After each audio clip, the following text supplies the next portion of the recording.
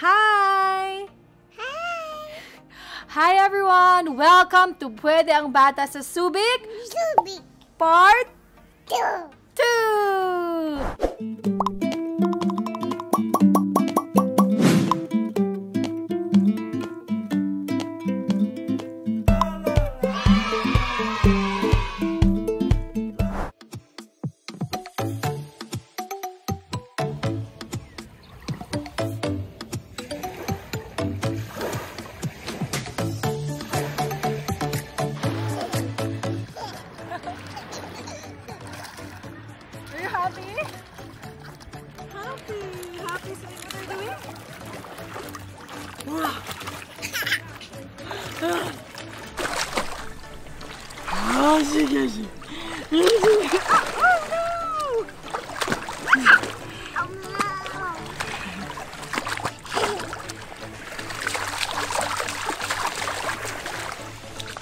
So happy.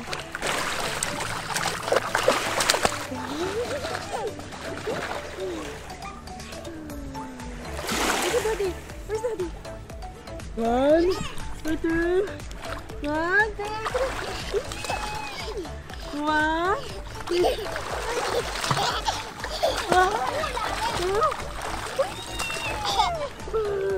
Mati, are you happy? Are you happy? Gusto niya na bumaba agad.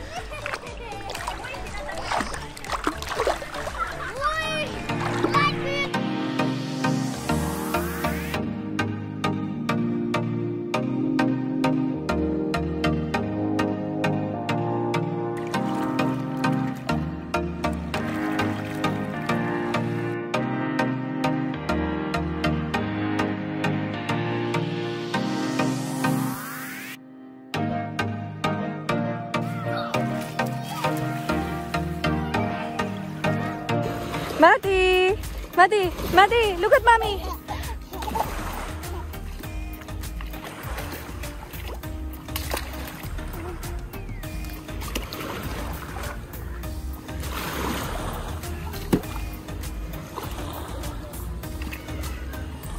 Careful! Oh,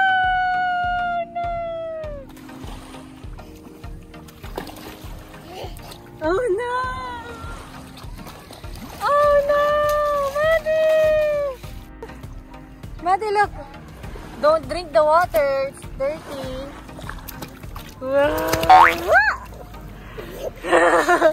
Uh-oh!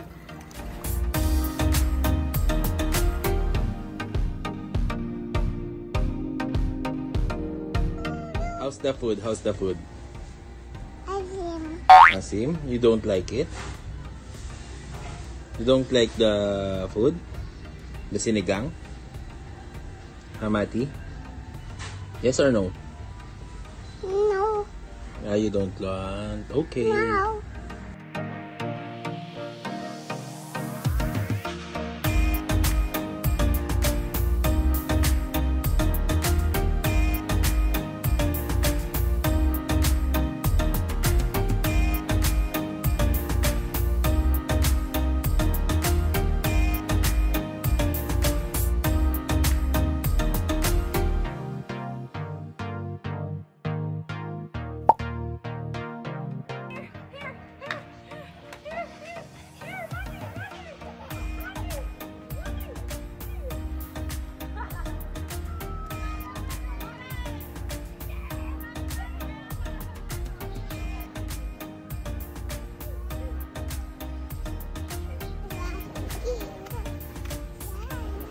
What's that? Sand.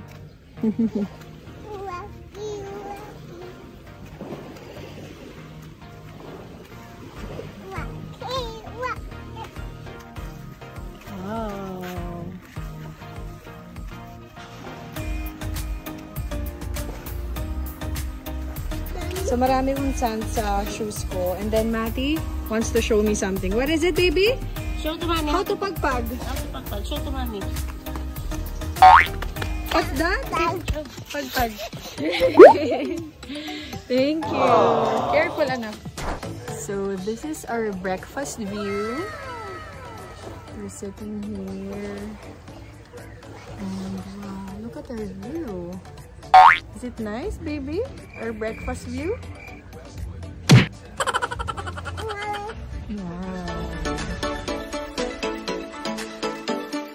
I love you.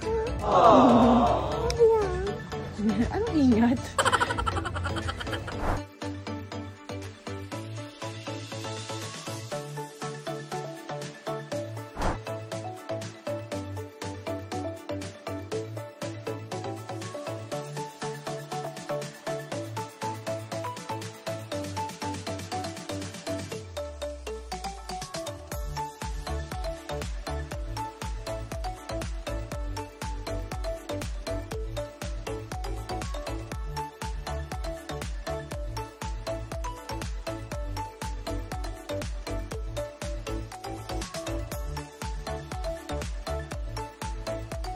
How about we give them a recap on what happened sa part 1 ng ating Subic trip, okay?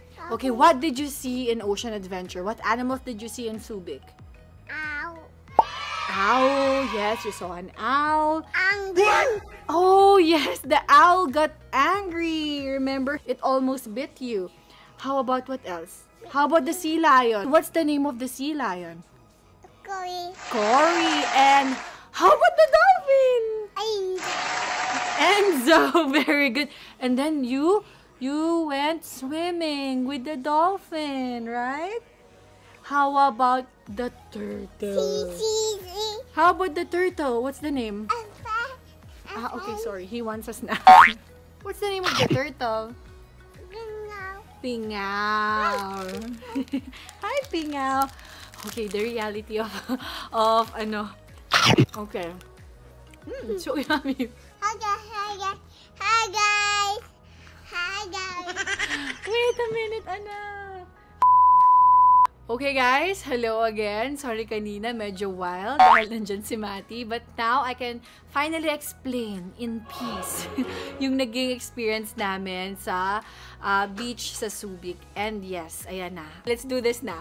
Kung mapapansin ninyo, konting-konti lang talaga yung clips namin nung nagpunta kami sa beach sa Subic. It's because hindi naman talaga yon yung original plan namin. Actually, nakabook kami sa Zubik Safari Glamping Facility sana. But, Mark decided on the spot na parang, why not?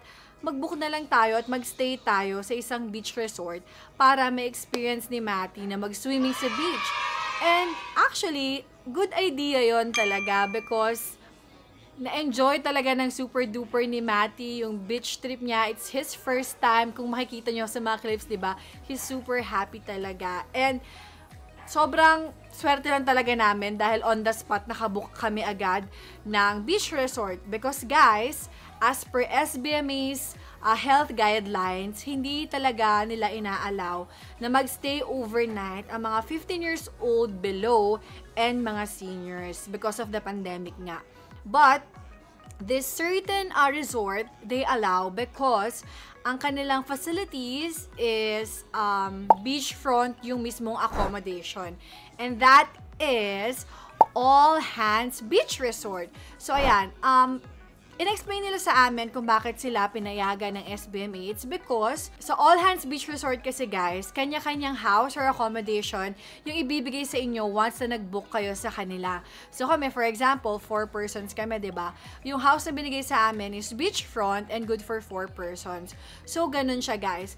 Ah, dahil beachfront siya, meron rin silang ginawang ah, hati nakatapat ng bahay namin na yun lang yung magiging beachfront namin para hindi kami maka- makasalamuha sa ibang tao. So for example, yung kapitbahay namin, may sarili silang beachfront and hindi kami pwedeng mag-cross sa line nila or sa beachfront nila. So sobrang ganda. So we really felt safe talaga sa All Hands Beach Resort dahil nga dun sa ginawa nila na kanya-kanyang house and kanya-kanyang beachfront. Talagang wala kaming nakasalamuha talaga. Nakikita namin sila from afar pero hindi sila namin nakakasalamuha. So that's very, very good. So I will definitely recommend All Hands Beach Resort sa inyo guys kapag nagpa-plan kayo na mag-beach. But for now, syempre, lockdown tayo sa Manila and other parts of the Philippines. Kaya chill muna tayo sa ating mga bahay. But yes, yun nga, maganda talaga sa All Hands Beach Resort. And another point sa All Hands Beach Resort, kasi ang kanilang restaurant ay alfresco din. And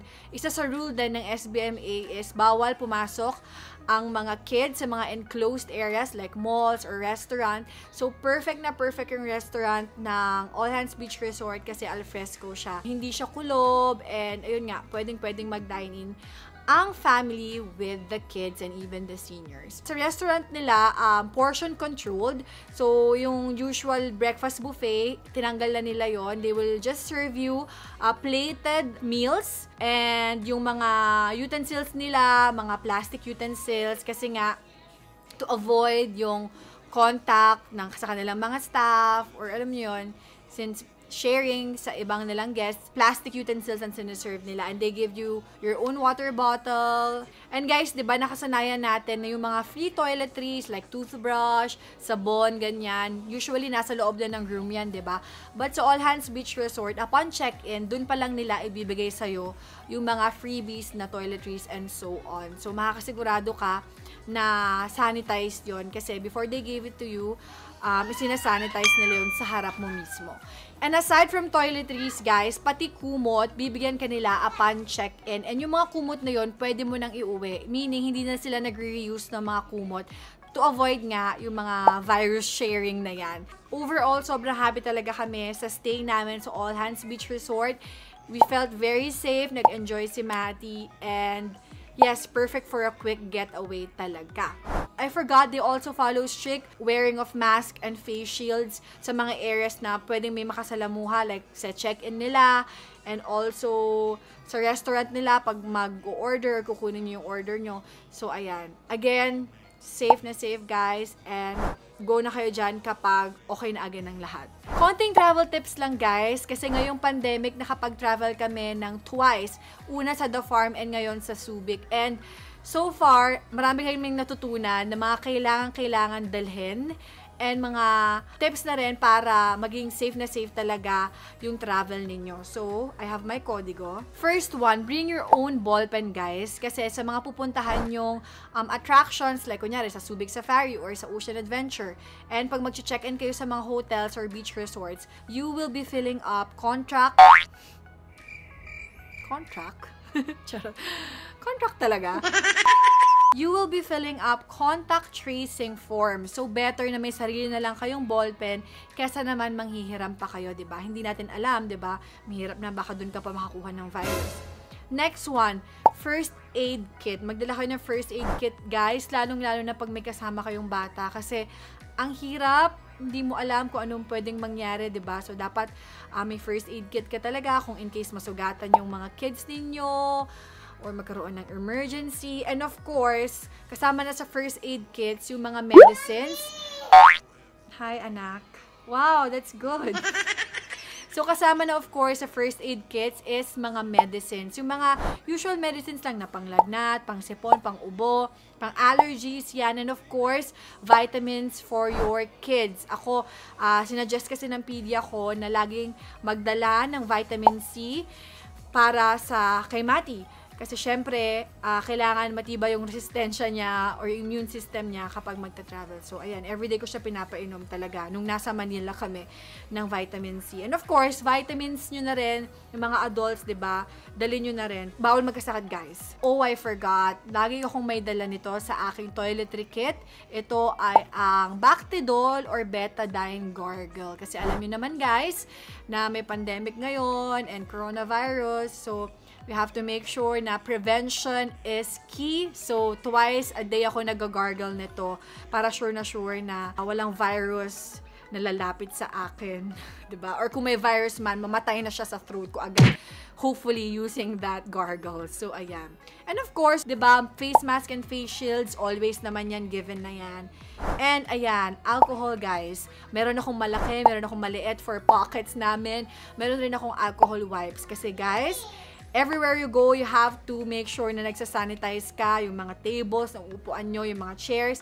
So, ganyan. Paranding ako, guys. Kaya, lagi ako may dalang alcohol wipes and alcohol sa aking pocket. And, ayun, another thing na natutunan ko sa pagta-travel with the kid is to bring uh, Matty's own utensils and plates. Kasi, guys, mas mabuti na yung safe, ba? Ako may dala akong plato and mga utensils and cup na rin ni Mati para hindi na ako mag-aalala kung alam mo yun, hindi na ako mapaparinig na "Oh, saan kaya nanggaling to or whatsoever, 'di ba? At least yun may peace of mind na ako na safe, safe tong gagamitin ng anak ko. Of course, water bottles para sa anak ninyo and sa mga adults para hindi na kayo nanghihiram ng baso or makikigamit ng baso, 'di ba? Water bottles and kami nga, may dala nga kami sariling tubig talaga eh. Para sure na sure. Kung magsistay naman kayo overnight, kunyari sa beach resort, better siguro kung magdala na rin kayo ng sarili ninyong kumot at unan. Kasi, di ba, wala namang mawawala. At least yon matutulog ka ng matiwasay kasi hindi mo naiisipin na, oh my gosh, baka may bacteria or may virus tong hinihigaan ko or whatsoever. So, ayan, bring your own kumot and unan na lang din. And, of course, your own toiletries na rin para hindi ka naaasa dun sa toiletries na libre sa beach resort, ba? And panghuli guys, bring your snacks, especially for your kids. Kasi wag na tayong bumili sa labas ng kung ano-ano, di ba yung on the spot kang bibili ng snack or ng biscuit para sa anak mo. So bring your own snacks, magbaon na kayo guys para if in case magutom kayo sa daan or magutom yung baby ninyo while swimming, meron na kayong sariling snacks na hindi na kayong bibili pa para magdala ng wallet, ng pera, 'di ba? So ang dami pang pwedeng dapuan ng virus. So, bring your own snacks, even toys pala ng inyong mga anak. Anything that can keep your kids entertained the whole trip, dali nyo na rin. Para, ano, alam nyo yun, mas enjoyable. Kasi nakaka-stress, di ba? Kapag nagtatantrum sila, ganyan. So, dali nyo na yung mga favorite toys nila para happy ang trip. And that's it, guys. Thank you so much for watching this. I hope you guys enjoyed this video. And if you do, don't forget to subscribe sa aming channel if hindi pa kayo nakasubscribe. And hit the like button na rin and the notification bell para naman updated kayo if we have new videos like this. So see you guys dahil may part 3 pa ang Pwede ang Bata sa Subic.